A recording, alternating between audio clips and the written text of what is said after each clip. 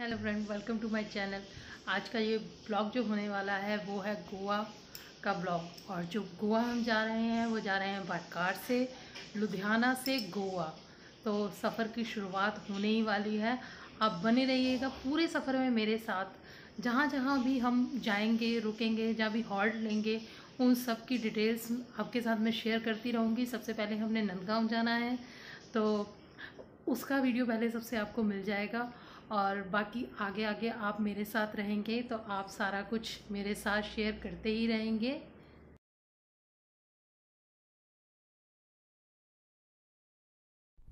तो टाइम हो रहा है रात के एक बजे का और हम अब अपने सफ़र की शुरुआत करने वाले हैं।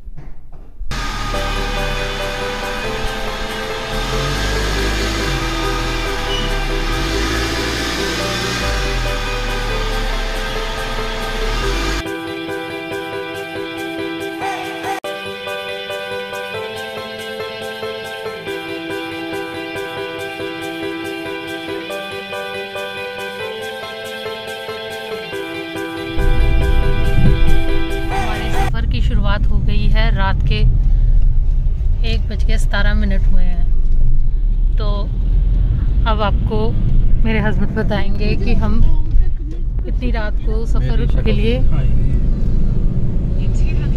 क्यों निकले हैं? ऐसे ही बोल दो।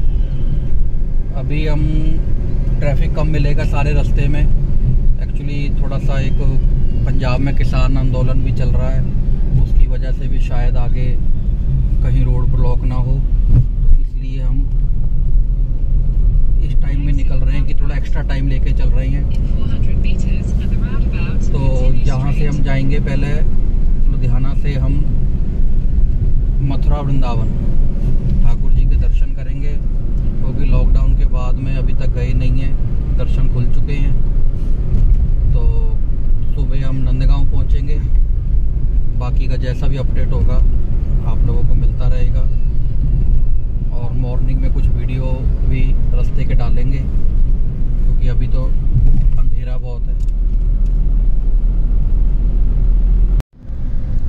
ये लुधियाने में बहुत ही मशहूर टेंपल है, दुर्गा माता मंदिर। जगरामपुर के पास पड़ता है। बहुत ज़्यादा अच्छी मान्यता है। जय माता जी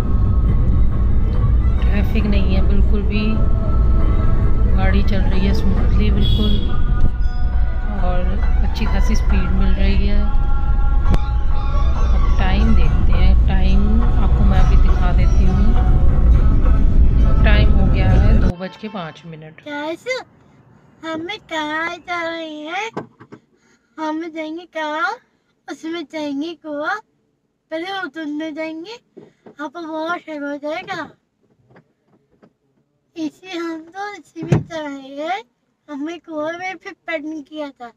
हमने बहुत अच्छे से किया है है ना? आपको आना तो आ सकते हो। आपको कम आना है तो कर आ सकते हो, है ना? इसलिए हम लोग पेट्रोल डलवाने के लिए रुके हैं हम। हम प्रेफर करते हैं कि रिलायंस के पेट्रोल पंप से ही पेट्रोल डलवाएँ। एक तो यहाँ से पेट्रोल डलवाने से एवरेज अच्छी आती है। तो सो यहीं पे हम टैंक फुल करवाएँगे। पहले दूसरे पेट्रोल पंप पे थोड़ा पेट्रोल डलवा लिया था। अब यहाँ पे फुल करवा लेंगे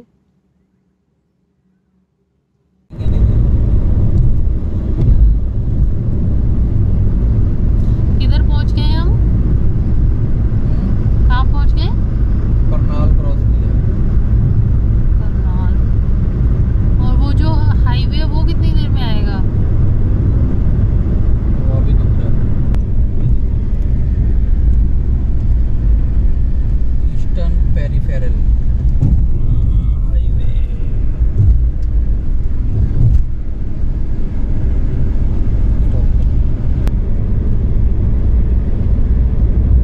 eastern peripheral highway है ना जो, ये कुंडली से स्टार्ट होता है और पलवल पे ये ख़त्म हो जाता है। वहाँ पे ये सामने हो गया शुरू।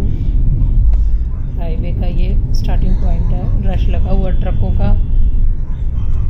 हाईवे है जो ये ना 135 किलोमीटर लंबा है और सिक्स लेन है इसकी। ईच डायरेक्शन में तीन लेन है इसकी ना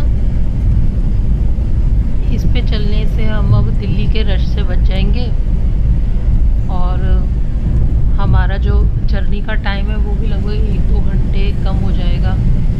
हाँ इस पर टोल ज़रूर आपको देना पड़ता है। लगभग दो सौ रुपये शायद देना पड़ेगा टोल। पर स्मूथली गाड़ी आप यहाँ से आप निकाल सकते हो अपनी दिल्ली के रास्ते भी बस मॉर्निंग फ्रेंड्स टाइम हो गए हैं सात बज के चौदह मिनट और सारी रात कार ड्राइव करते रहे हैं सनराइज़ हो गया है देखिए इतना ब्यूटीफुल सनराइज़ का सीन दिखाई दे रहा है अब थोड़ी देर में हम अपने फ़र्स्ट डेस्टिनेशन नंदगांव पहुँच जाएँगे तो नंदगांव मेरे आने का क्या कारण है वो मैं आपको बताऊँगी अगले इसके पार्ट में अभी कुछ ही समय में हम बहुत जल्दी ही पहुँचने वाले हैं नंदगांव और आज के ब्लॉग में इतना ही आपसे फिर मुलाकात होगी अगले ब्लॉग में। और अगर आपने मेरे चैनल को अभी तक सब्सक्राइब नहीं किया है तो सब्सक्राइब ज़रूर कर दें, लाइक करें और शेयर भी करें। तब तक के लिए बाय बाय